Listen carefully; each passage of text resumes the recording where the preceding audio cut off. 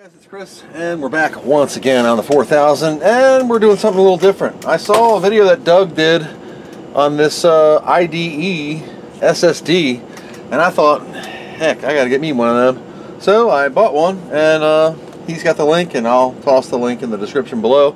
If you haven't watched his video on the storage media, go ahead and check it out. So anyway, this is the KingSpec uh, IDE 32 gig. They sell it in a 64 and a 32. I got the 32 because that's fine for me. It was like 40 something dollars, 41 dollars shipped on Amazon. Got it in two days on Prime. So let's open her up. Uh, has a window for something, but has this little pull tab thing here. I guess you just pull it. Uh, okay. You get the hard drive, you get a 8 inch cable, and you get some machine thread screws. Cool. So that, I was going to put in here. So I started looking through the uh, boxes of Amiga stuff, and uh, I found this. I figure this is perfect for the 4000. Uh, this is a ECS Spectrum from GVP, Great Valley Products, that apparently I had and don't know what I did with the cable, but this one always did the uh, RGB NVGA, so you could, it had like a 23 to 9 here that would go from the Amiga's video port into here, and a standard VGA monitor would go to here. I have no idea what I've done with this cable, so I do have one. It's on the back of the 1084. I remember where the cable is now. Oh, so what I'm going to do is I have the uh, original Amiga uh, DB23 to DB9, but because the Spectrum also had a male port, this isn't going to plug in. So I needed to buy this little gender changer thing here, female to female, that this will just plug in here and it screws in and then your 9 pin RGB would plug into it. That way, this card will handle the 15 and the 31, and it only puts out on the 31. So you don't need to worry about having a monitor that does both. It'll do both. The only downfall is, is I lost my disc to this probably 20 something years ago. I want some higher resolutions than just multi-scan. And I went over the promoter thing. You saw that one probably about how to promote uh, screens that are you know in, in other resolutions to get them to auto scale to the multi-scanner VGA only monitors. It's good but it's not 100% perfect. If you're if you're a gamer you're going to notice some problems. If you need to boot off of a floppy drive of course that's in 15 kilohertz. You can't upscale that because Workbench hasn't loaded yet so those two things, uh, like the Mode Pro and boot control, they will not function properly. So we're going to take the 4000 cover off and we're going to slap in the Spectrum. I have to download Picasso 96. I have it somewhere and I'm going to transfer some stuff over to this first. I did find the discs for the Spectrum on the Big Book of Amiga Hardware. Actually, they had all the discs and I think the GVP-M site also has them. So let me get this cover off and we'll slap this card out.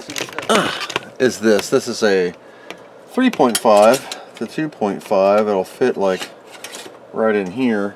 And I'm going to actually take out the uh, original drive and mothball it, write a sticker on it. Maybe I'll use it one day. It's still got all the stuff on here from what you saw in the final episode of, if you haven't seen it yet, the restoration of the 4000 here. I don't know what the hell this says on it. Besides 2.5 PATA parallel ATA, 32 gig. Oh, Jansen. Jansen. Okay, well that's fine by me. And it's going to go this way, so we're going to stick this like this, and she lines up perfectly.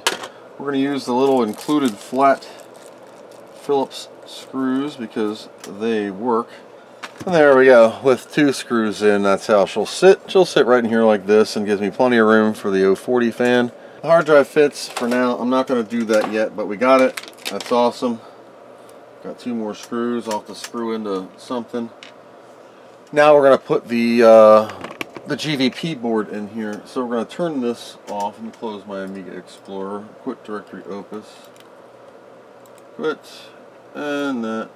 And we'll turn this off. So this will go in the top slot here. I don't have to go with the top slot because it's not using this the graphics card slot. It's a Zorro card. This is going to be weird, okay?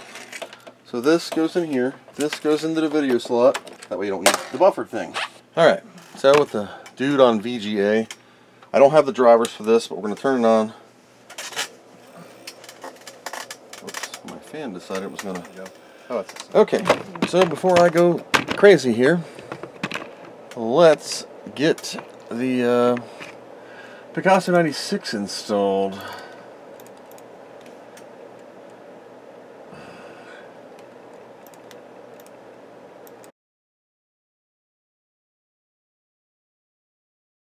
Picasso's installed. I'm going to reboot one more time before I go gung-ho. Alright, get rid of this one. And I think we drag this to that or drag this to that. There we go. Alright, so Spectrum, we're to do... Alright, let's go into screen mode and flip this thing to better graphics. So we're in multi-scan. We're to do Spectrum, lots of modes. We're to do 800 by 600, 24-bit, 16 million. We're just to hit save and do it and okay and get this out of the way. Now I have to put it on the card. So 16.7 million, high color, yeah, a little bit overscanny. I gotta do the overscan, and it doesn't look really good. Okay, uh, it's a little glitchy. Eh, it's working. Takes a little longer to boot, but at least it works. My overscan looks pretty good to me. This will do 1280 by 1024. Woo! Let's try that. I don't know if it's gonna be any good. 1280 by 1024, 256 colors. We're just going to hit test. Wow. That is a resolution. Oh my. Let's use it. Let's see how it functions. It's at 56 hertz, so it's a little bit... Eh. See if the monitor... Oh my gosh, my cursor is small. I don't like that. It doesn't look good, and I can't see crap. Display information. We are at 720 by 576 at 50 hertz. So this is in a weird mode. It's in like a PAL mode. I need to hook that other cable up. So here we are in ugly mode. I have forgotten about this Spectrum stuff. So what I did was I hooked up the loop cable, and here is the ugly mode. So if I was to run something, it would run in ugly mode. Well, this is going to be promoted because I uh, I have that program running. So I need to go and go into Mode Pro here. Let's go into screen mode. Am I still recording? And we're going to select the spectrum. We're going to do an 800 by 600 16-bit PC. But before we do that, we're going to load up Picasso 96 preferences here. Oh,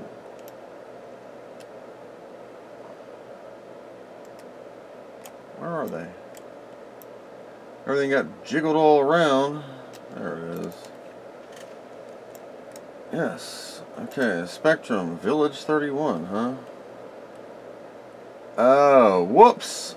I have to adjust this to get this to freaking 60 hertz, but it's all the way up. I don't know if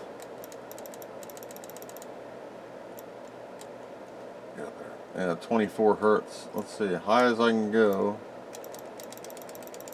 27, 28, 29, 30. Can I drag this? 46. Okay, 256 I can do. So let's take this up to 60 hertz. There we go. 60 freaking hertz. So that one's 60. High color. Check off. I gotta take that up to 60. Whoa. Because that's how we roll there.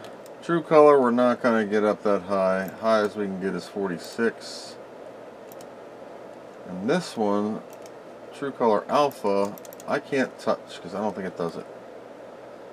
So 320 is all 60. 640 by 480 is close enough to 60.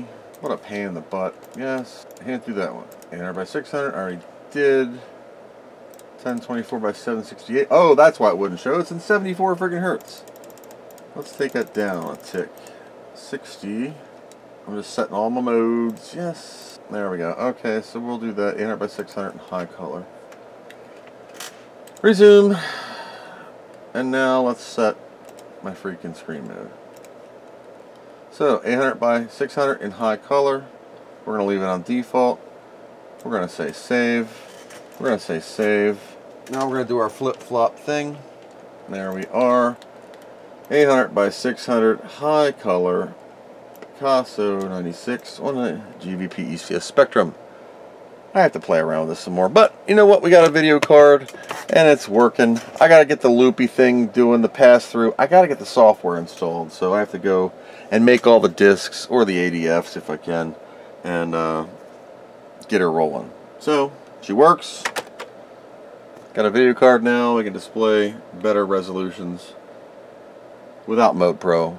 Mode Pro works, but oh, for some higher color images or whatever. It takes longer to boot now with that card.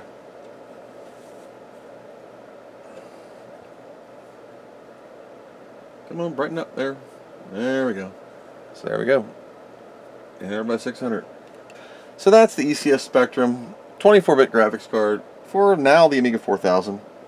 I was going to toss it in the 3000, but the 3000 has the Amber chip, and it already has a flicker fixer, and basically has VGA support, and everything works just... Um, the 2000 has the RTG from the Vampire, and I also have a flicker fixer card in it, so I don't need it on that. The 600 and the 1200 I just use through the Chinesium uh, HDMI to SCART and it works, or DB23 to SCART, SCART to HDMI into the Dell, it works fine. I will fart around with this some more and we'll get it sorted. But that is my video card for the 4040. Thanks for watching and I hope you learned something.